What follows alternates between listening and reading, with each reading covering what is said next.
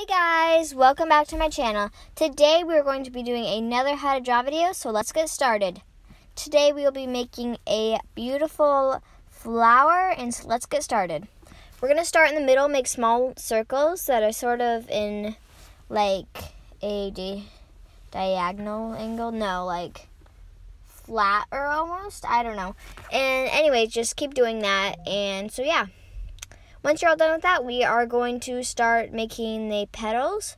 You're to go up and then make like a line on the top and make them go down.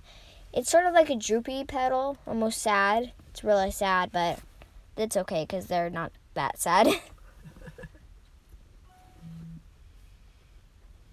and, you know, make sure you don't have a weird petal going over another petal. Um, but, yeah, just keep going down and making more petals.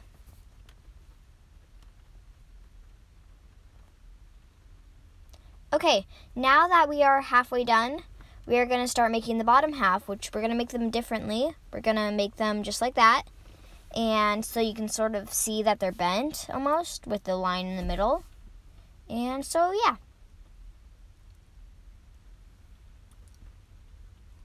Just keep making those flowers those petals and once you're all done with that, we are going to start with the stem.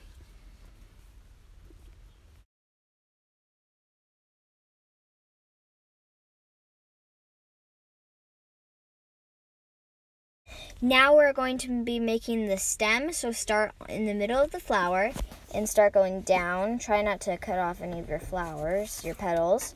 And then once you're about halfway-ish, not really, but a quarter down way, we're going to start making a petal. So sort of a jagged petal. And, you know, it just looks like that. And, you know, the some, I don't know. I really don't know, you guys, but yeah.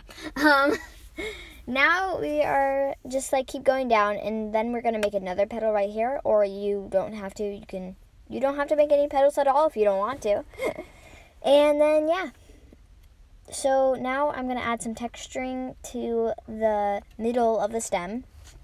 And then keep going down and I'm going to make one more flower near the bottom.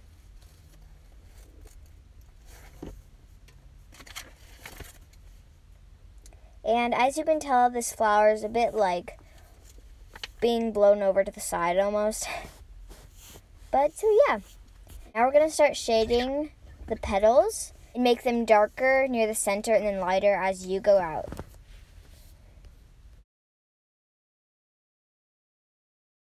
Once you're all done shading, we're going to go back to the middle and make little circles and like add some texture to the middle of the flower. And there you have it, a beautiful flower. I really like this design. Make sure to hit that like button, subscribe, hit the notification so you don't miss another video. Thanks for watching. Bye!